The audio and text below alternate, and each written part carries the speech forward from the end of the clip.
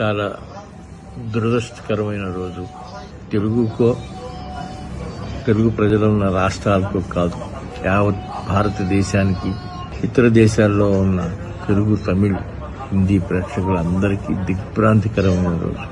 ఒక దైవాంశ సంభూతుడు వాళ్ళ వెనక్కి తిరిగి వెళ్ళిపోయాడు అని అనుకోవటానికి చాలా మనసు కకావికం అయిపోయింది పంతొమ్మిది వందల డెబ్బై నాలుగులో నేను ఆయన కలిసాము మా ఓసిత్ కథలు ఫస్ట్ రికార్డింగ్కి వచ్చినప్పటి నుంచి.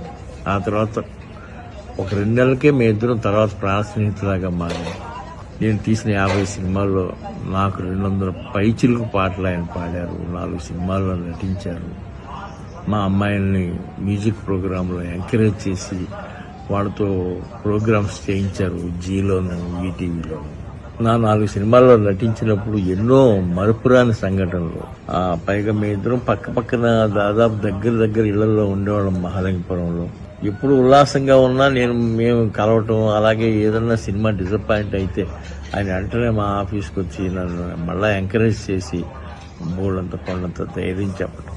ఇందిరా సినిమా షూటింగ్కి వెళ్ళినప్పుడు తాజ్ గ్యాంజెస్లో నేను ఆయన్ని పెట్టడం జరిగింది. యూనిట్ ఎక్కడ ఉందో నేను అక్కడే ఉంటాను. నాకు తాజ్ హోటల్ ఎందుకు అని ఆయన నాతో ఫైట్ చేశారు. మొన్న ఆ దేవదాస్ సినిమాలో లేటెస్ట్గా వన్ డే గెస్ట్ అపీరెన్స్ అంటే ఒక పాటకు ఇచ్చి ఇచ్చే అంత అనుకుని అది నువ్వు చారిటబుల్ ట్రస్ట్కి పంపించేయి. ఆయన చెప్పి వెళ్ళారు. షూటింగ్ చేయడానికి వచ్చినప్పుడు నేను హైదరాబాద్ పలానా రోజు వస్తాను ఆ రోజు పెట్టుకో షూటింగ్ అన్నారు. అంటే ఫ్లైట్ ఛార్జెస్ కూడా నా మీద వేయటం ఇష్టలేక అందరికీ అలాగే చేసేవారు ఆయన. ఎంతమంది వేల మంది సింగర్స్ని ఈరోజు ఈ రోజు ఆయన తీసుకొచ్చారు. మహానుభావుడు ఒకటే చెప్తాను ప్రపంచవ్యాప్తంగా ఉన్న అభిమానులందరికీ ఆయన మనం వదిలిపెట్టి ఎక్కడికి వెళ్ళలేదు. మన మనసుల్లోనే ఉన్నాడు మన ఇంట్లో ఉన్నాడు మన గుండెల్లో ఉన్నాడు.